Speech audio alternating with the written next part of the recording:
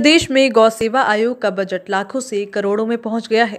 लाखों करोड़ों रुपए सड़कों को लावारिस पशुओं से मुक्त कराने पर खर्च भी कर दिए गए हैं, पर बावजूद इसके सड़कों पर लावारिस गौवंश की संख्या लगातार बढ़ रही है।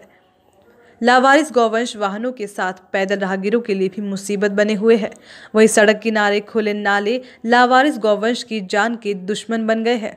26 जनवरी 2019 तक प्रदेश की सड़कों को लावारिस पशुओं से मुक्त कराना था। कागजों में शायद सरकार सड़कों को लावारिस पशुओं से मुक्त करा चुकी है। लेकिन हकीकत यह है कि सड़कों पर आज भी लावारिस गौवंश बदहाली में है। गाय और गीता का गुणगान करने वाली भाजपा सरकार सड़कों पर लावारिस घूम रहे गौवंश की बदहाली से आँखें मूंदे बैठी है। कूड़े के ढेर, सड़कों और गलियों पर लावारिस गौवंश का डेरा जमा रहता है। खुले और गहरे नालों में गौवंश गिरकर घायल हो रहे हैं, लेकिन ना तो सरकार को और ना ही स्थानीय प्रशासन को लावारिस गौवंश की चिंता है। बहादुरगढ़ में वेस्ट जुआ ड्रोन पर बन रहे नाले में लगातार दो दिन में दो गौवंश गिर चुके हैं। रोहतक दिल्ली रोड पर भी खुले और गहरे नाले में गौवंश गिरकर घायल हो चुके हैं। गौ भक्तों ने नालों में गिरे गौवंश को तो जेसीबी की सहायता से बाहर निकाल दिया, लेकिन जिस प्रशासन को सड़क से गौवंश को हटाकर गौशालाओं में भेजने का जिम्मा है, वो प्रशासन अपनी आँखें बंद किए बैठा है। गौ भक्तों में भी इसके लिए काफ़ी रोष है।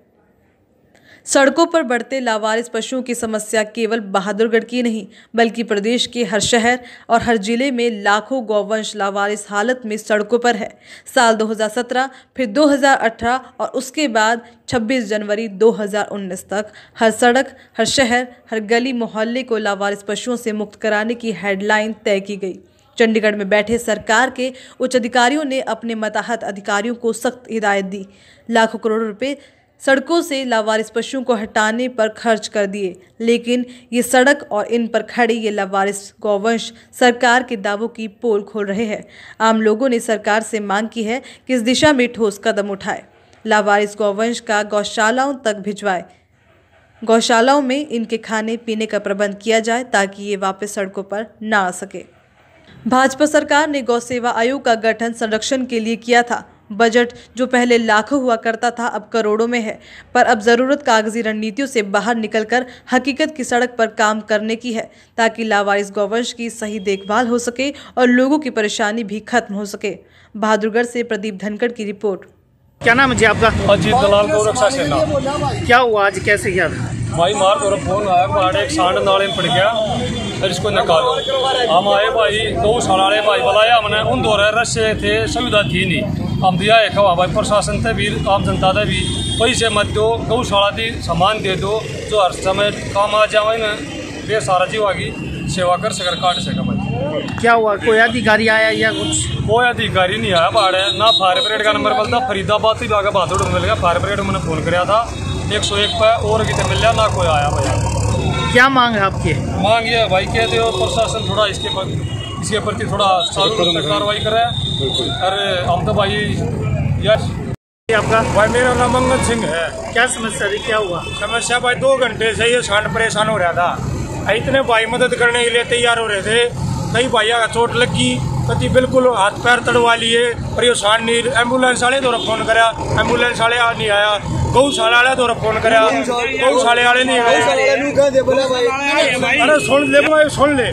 भाई परेशान करे ये गौशाले वाले आ रहे थे मैं सारी बताऊँगा भाई की इन गौशाला ने खूब मदद करी पर भाई इनके लिए भी वो सामान अवेलेबल करवाओ सरकार तो ये सामने वाले ने मदद करे मैं बोल लूँगा भाई गलत नहीं बोल लगा और भाई हमने सारे ने मिलकर जेसीबी बुलवाई है आयो निकलवाया है दो तीन भैया चोट लग रही है उनके भाई सारे भैया गए शुक्रिया करूँ जिन भैया ने धन्यवाद दू जिन भैया ने हमारी सारे ने मिलकर मदद करी है भाई की वो कांग्रेस की बीजेपी की पर आम जनता ने इकट्ठा होगा आपस में सहयोग देना पड़ेगा जब सामाजिक काम हो सके आप देखोगे कि जगह जगह जहाँ भी आप नज़र डालोगे सड़क पर लावारिस पशु बैठे रहते हैं। कई बार इन गोवंश के कारण जो है हादसे भी हो चुके हैं।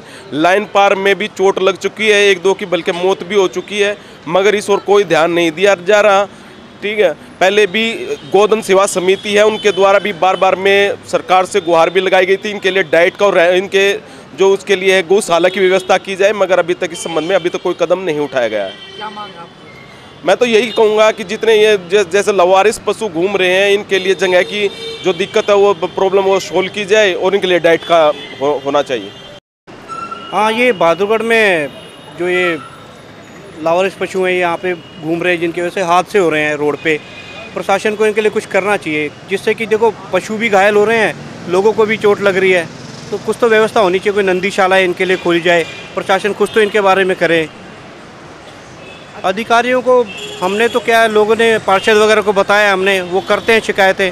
तो अधिकारियों ने देखो, संज्ञान में तो लाया गया है, उनको पता ही है, किस तरीके से हो रही है, यहाँ पे घटनाएँ हो रही हैं, दुर्घटनाएँ हो रही हैं तो कम से कम इनका कुछ तो करना चाहिए इनके बारे में।